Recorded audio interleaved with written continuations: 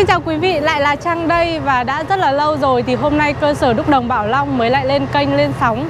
Thì uh, thực tế thì thời gian vừa qua chúng tôi đang tập trung vào rất là nhiều dự án Và hôm nay là một ngày rất là đặc biệt khi mà cơ sở Bảo Long rất là vinh dự khi mà nhận được một uh, dự án đúc tượng đồng lớn cho khu du lịch tâm linh tại tỉnh Quảng Bình.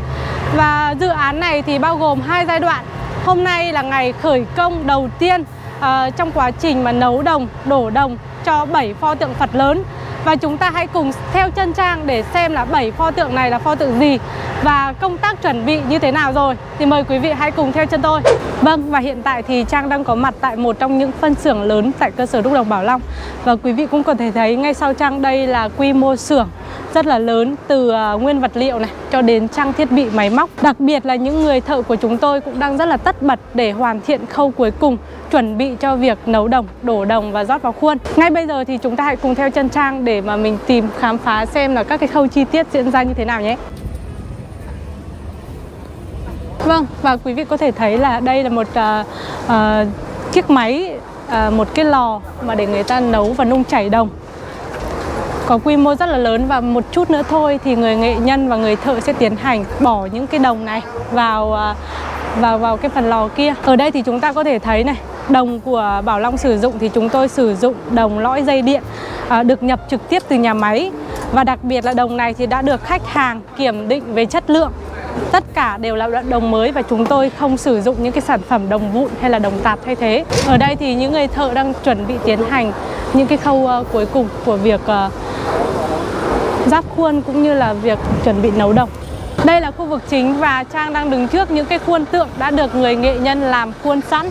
Quý vị có thể thấy là pho tượng lớn nhất ở đây Đó chính là pho tượng à, Thích Ca Mâu Ni với chiều cao là 2m62 Và ngay bên cạnh là pho tượng Địa Tạng Vương với chiều cao là 2m36 Quý vị có thể thấy là hai pho tượng à, bằng nhau ở đây thì đây chính là pho tượng A Di Đà và pho tượng Dược Sư với chiều cao là 1m55 À, tiếp theo thì đây là pho tượng à, Phật Bà với chiều cao là 2m36 Hai pho còn lại là pho tiêu diện hậu phát với chiều cao là 2m15 Và đây là khu vực làm lễ rót đồng mà chúng tôi đã chuẩn bị trước cho đoàn sư thầy và khách hàng. Lễ rót đồng là một trong những dịp lễ tâm linh rất là phổ biến và thường được thực hiện trong mỗi dịp mà đúc những công trình lớn như thế này. Và bây giờ thì quý vị có thể thấy là đồng đã bắt đầu được uh, cho vào lò để mà nung nóng chảy rồi.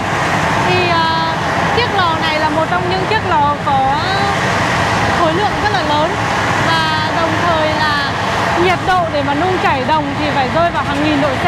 Nếu như mà chúng ta để đồng này mà ở trên một ngọn lửa thông thường thì đồng không thể nào mà nóng chảy được. Và đây là một khối lượng đồng rất là lớn. À, tính tổng ra thì rơi vào khoảng 10 tấn đồng. Cho nên là thời gian nấu đồng diễn ra rất là lâu.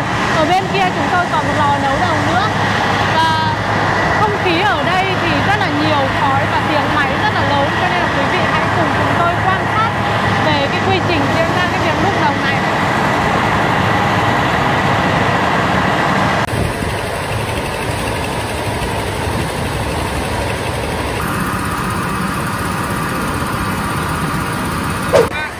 Và đây là một trong những công đoạn đáng mong chờ nhất trong ngày hôm nay.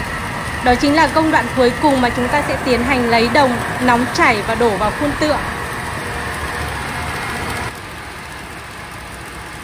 Quá trình nấu chảy đồng đã hoàn tất và lúc này thì những người thợ, người nghệ nhân sẽ tiến hành lấy đồng và đổ đồng vào khơi. Đây là một trong những công việc mà đòi hỏi rất là nhiều kinh nghiệm xử lý bởi vì chỉ cần một chút sai sót nhỏ cũng sẽ gây tai nạn cũng như là gây những cái điều nguy hiểm cho người à, chế tác. Và sau khi đồng đã được hóa lỏng thì cơi sẽ được di chuyển lên khu vực à, uh, rót đồng vào khuôn và quá trình rót đồng thì cũng phải diễn ra thật là cẩn thận và tỉ mỉ bởi vì là đồng nóng chảy sẽ ở trong một nhiệt độ rất là lớn lên tới hàng nghìn độ C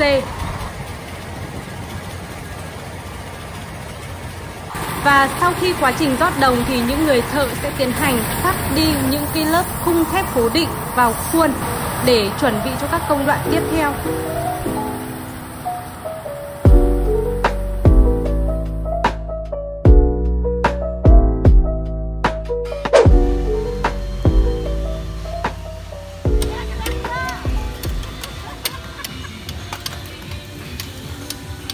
Và sau hơn 3 tiếng thì à, kể từ thời điểm rót đồng thì đồng đã đông cứng lại và hình thành khối ở trong khuôn. Lúc này thì những người nghệ nhân sẽ tiến hành phá khuôn để đưa phôi đồng ra ngoài. Phôi đồng thì lúc này sẽ còn bám rất là nhiều, vết ba via cũng như là vết thừa ở trên bề mặt. Lúc này thì người thợ sẽ tiến hành là cắt bỏ đi những cái lớp ba bia và vết thừa đấy. Và để bắt đầu vào công đoạn cuối cùng là sửa nguội và tạo màu.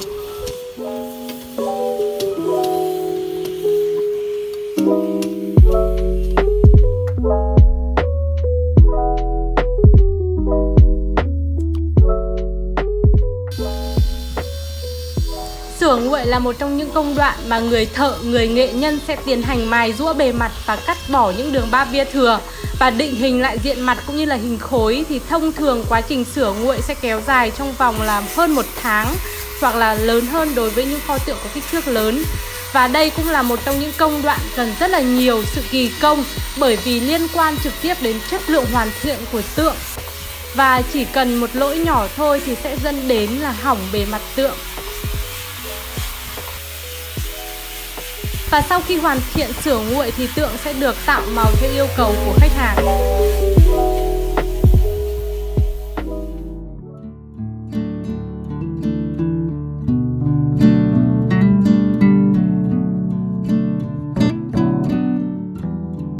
Nhiều công đoạn sửa nguội, hoàn thiện và làm màu thì hôm nay thì Trang đang có mặt tại trước những cái pho tượng mà đã được uh, hoàn thiện bởi nghệ nhân hàng đầu cơ sở Bảo Long. Thì chúng ta hãy cùng xem là những pho tượng này thì có chất lượng như thế nào nhé.